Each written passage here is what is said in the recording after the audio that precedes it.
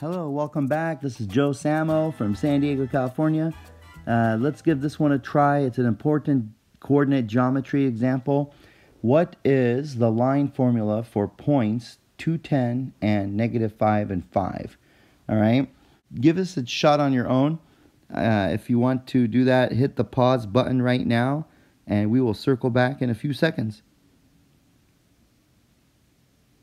All right, welcome back. And uh, let's give this one a try together, okay? Let's do this one together now. Um, what I always do is I always, uh, I always graph it out, even though you don't need to. I always do it anyway. All right, so let's do that really quick. Okay, so the first point is 2 and 10.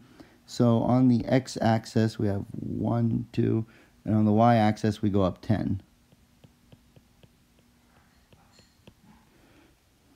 Okay, so that's 2 and 10. And then the other point was negative 5 and 5, right? So this one is, uh, the first point is 2 and 10, and then the other one is negative 5 and 5. So negative 1, 2, 3, 4, 5, and 5. So it's somewhere right there, okay? So then you connect these dots. The line would look something like this. Hang on. All right, so that's our line. It's definitely a positive slope. Anytime a line goes this way, it's it's a positive slope, and if the line goes that way, it is a negative slope. Okay, so that is a positive slope. All right, the two points again is 2 and 10 and negative 5 and 5. Okay, those are the two points. Now we got to to the line formula. The line formula is y equals mx plus b.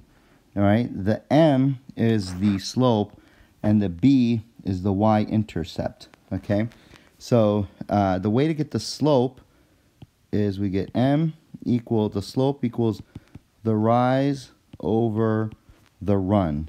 Okay, uh, what that means, the rise is y2 minus y1 because it's rise, which is vertical, so that's y over the run. The run is horizontal, which is the x, over x2 minus x1.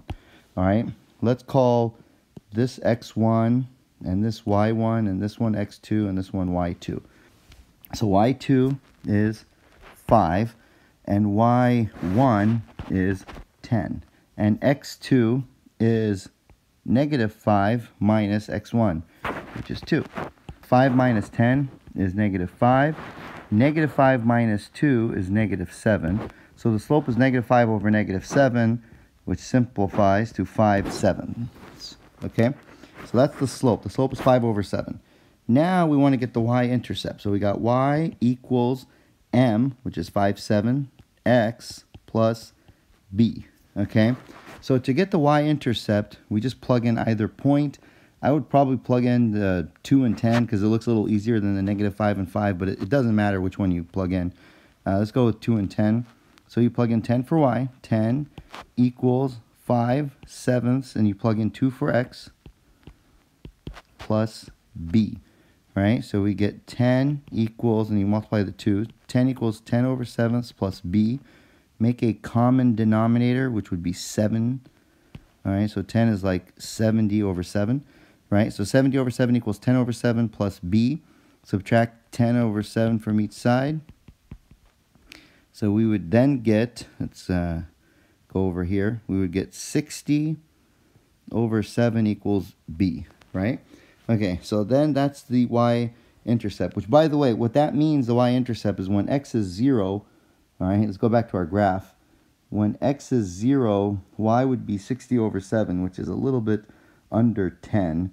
Right? It's about eight and a half. Uh, look at that, which is about right. So when y, uh, when x is zero, y is about um, eight and a half. Okay, now uh, we have our answer. The formula is y equals the slope, which is 5 over 7 x plus b, which is 60 over 7. And that is the answer. All right, that's the answer. All right, good stuff. Um, if you have any other questions you have or whatever, put it in the comments.